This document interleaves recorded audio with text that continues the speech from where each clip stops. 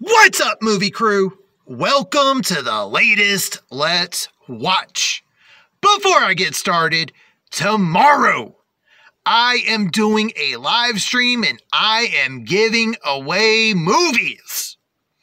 3:45 Eastern Standard Time. The video should already have like a notification thing on here and I'm going to have something on Instagram. Now, back to this. Today, I am seeing Expendables 4. Now, pin comment down below. Back in June or July, I did a ranking for the five movies I am looking most forward to seeing from July to December. Expendables 4 is on that list. Unfortunately, I've got some people that have already seen this movie before me and they've said it sucks. So now I am going into this with low expectations. So I guess I'm going to go in here, see the movie, come back, and give you my thoughts on Expendables 4. All right, so I have just gotten back from seeing Expendables 4. So I've got good news and I got bad news. The good news is that I think I might actually like this movie more than some of the other people I know that have seen it. The bad news is that this is not a good movie. All right. I rewatched the trilogy before seeing this, and there's definitely the law of diminishing returns with each movie. One's the best, but I will say, as much as I loved it when I first saw it, it doesn't have that same oomph to it that it did when I first saw it. Two had its moments, but still not as good as the first one. And three is just outright garbage. Four. Four has moments that are really good, but as a whole, I cannot say it's a good movie. On one end, you get to see some of the characters reunited, which is cool. You've got all these connections with some of the other characters. Not bad. But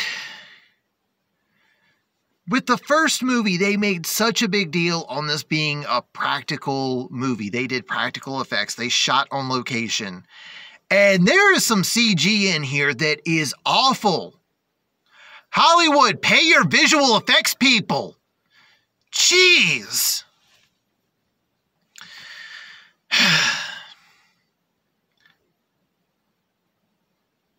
I I'm not going to go too far into that, but that bothered me. Another thing that I wasn't a big fan of is Stallone's not really in this movie that long. And say what you want, but Stallone does have a little bit of versatility to his acting skills. The problem is, since he's not there, the second in command is Jason Statham, and he doesn't have the same level of versatility as Stallone does.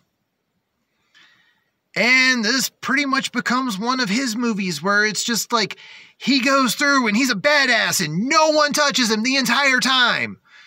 And like with the other Expendables movies, like these people do get hurt.